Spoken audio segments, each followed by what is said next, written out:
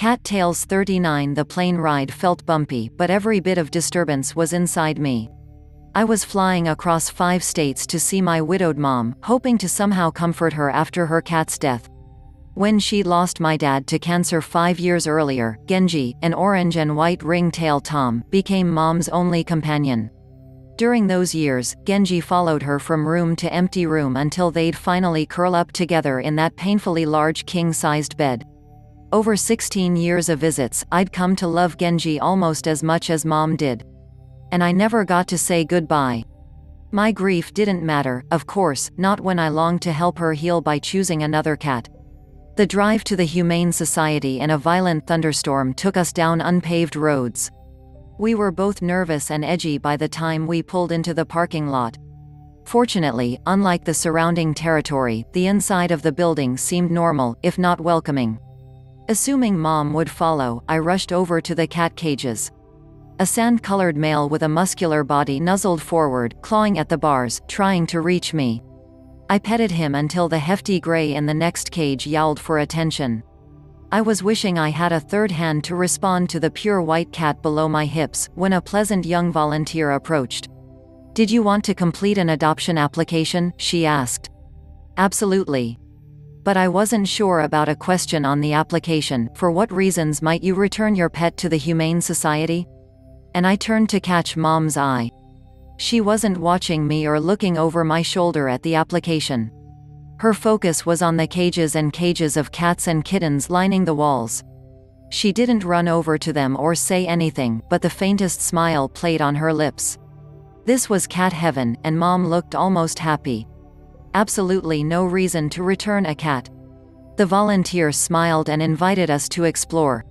There are more than 700 cats here. You'll find the right one for you. Gently, I steered my mother toward the first of many corridors crammed with cages of cats stacked to the ceiling. Many cages housed two, even three cats. Come on, Mom. Let's try to find one that looks like Genji. Both of us stopped walking when we approached the first cat room. Yes, a room with rugs and baskets and scratching posts and five runged cat castles where cats of every color, texture, and size slept, roamed, washed themselves and each other, or crowded against the door, mewing, look. Someone's here. Maybe I can get petted. Not sure whether I was allowed in, I reached for the door handle. Aha! Only someone with an IQ of 190 or, alternatively, very clever with levers could enter. Failures in both categories, Mom and I wistfully contemplated the cats through the closed door until a woman pushing a cart with water, detergent, and bags of clean and used litter smiled and asked, You want in?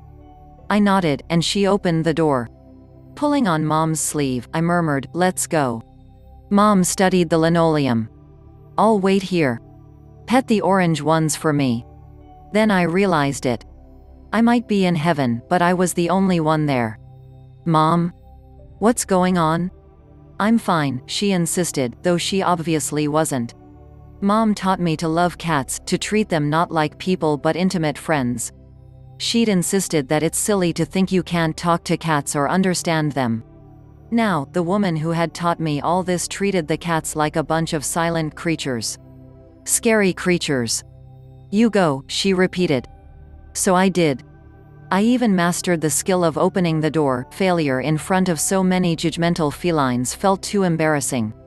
But in each room every orange cat I petted said, no. Thanks for asking, but I'm fine where I am. Mom could tell from my face what they'd said. Outside the third room, the volunteer caught up to us. Were you looking for an older cat? Not at all, we answered almost simultaneously. Then mom smiled, finally, then she asked, why? Because you keep going in the rooms where the older cats are. So that's why they declined petting, playing, and even conversation. Tell me what you're looking for, the volunteer suggested. Maybe I can help? Mom explained that she wanted a slender cat so it wouldn't be too heavy to lift, with a pretty face. Orange would be good, but it couldn't look exactly like her poor Genji. That would hurt too much. After several tries, Susan offered Mom a kitty named Akibon. We settled on the sofa so they could get acquainted. Unfortunately, Akibon fell instantly in love with me and wasn't subtle about his infatuation. Mom noticed. What I noticed was that mom hadn't fallen for him. I don't like his name, she admitted. Name him anything you want. Don't you think he's gorgeous? He's okay. Genji was prettier. In truth, Genji wasn't, but cat love, like every other kind, is in the eye of the beholder. So Susan got back to cat shopping for mom. Susan started with orange cats. Apparently, these are disproportionately male, which equals disproportionately large. Mom needed a cat she could easily slide into its carryall for vet trips. Susan advanced from orange cats to smaller females. Quite a few of them joined us on the couch. But mom complained that the black eyes of a mostly white one looked dirty. The Siamese was too old, and a gray one had a nicked ear. Every time a cat seemed perfect, it was part of a pair that couldn't be split up. Understandably, the staff made no exceptions to that rule. Mom didn't think she could handle two, not at her age. Then it was closing time and they wanted us out of there. Determined to learn from the various setbacks, we returned right after lunch the following day. We could get Mom a cat. We knew it. First we went to see Akibon. This time he didn't like either of us but provided no information why. As the hours passed, Mom's standards slipped lower and lower. The cat just had to be pretty, not gorgeous and certainly not necessarily orange. If it liked her okay and didn't weigh too much, she'd take it. That's what she said. Was that true, though? Something else was going on, and I hadn't figured it out. Maybe the various cats I cuddled or jingled my car keys for knew the answer, but they weren't saying. Susan was off today, so Karen, who was less patient, helped us. Like me, she seemed unsure that mom really wanted a cat. She's seen a lot of them, Karen whispered. Is she serious? My mother hasn't found the right one. Now she's interested in Akibon again, but he was so unfriendly.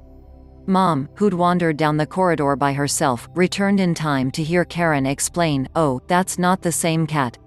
They took Akibon upstairs to rest because you spent so much time with him. I guess they didn't bring him back. I was about to ask whether Karen could get us the real Akibon, but Mom interrupted. No. You don't want Akibon? Mom turned away from Karen, who realized that we needed a moment of privacy and disappeared. I guess working with all those cats taught Karen a thing or two about listening with your eyes. There in the Humane Society, in a long corridor of cage after cage of cats scratching at the doors, begging us to notice them, to choose them, to love them, I folded my mother into my arms. She was careful not to make a sound, but I knew she was crying. She'd lost her husband. She'd lost the cat who'd kept her company and filled the empty bed a little bit after his absence. And her daughter lived a thousand miles away. Mom wept because, like all those caged cats, she couldn't have what she wanted. I rocked her as we stood there, thinking about the gift and the horror of this place. Some cats were here because people had abandoned them. Others hissed or spit, both Susan and Karen had noted those. Several had the loveliest markings, came in the pearliest shades of gray. They would live out their lives here without starvation or euthanasia. There was that but except for curling up into a ball, sleeping too much, declining to eat, or driving off every connection, their choices weren't their own. Just like mom. You know what? I stooped so we could look into each other's eyes. There's no hurry. It's not that you don't want a cat. I watched her exhale with relief, realizing that I'd unearthed the secret. The cat you're supposed to have will find you. The way Genji did. I took my hand off mom's shoulder to scratch the forehead of an orange and white kitten. The little guy reached out both paws and cupped my fingers, tight. Satisfied with the capture, he purred, loud and secure. Mom and I were both seeing Genji and his brothers and sisters crawling up the sides of the carton where some person, hoping for the best, had left them outside my dad's store all those years ago. Genji captured my mom's hand and heart that day, and he held them still. I could see her watching the cat and not wanting any other paws on her arm, not now, not yet, not any more than she'd want a man other than my dad resting his cheek against hers. A cat would choose mom. She had to wait for that. However long it took, well, that would be just long enough.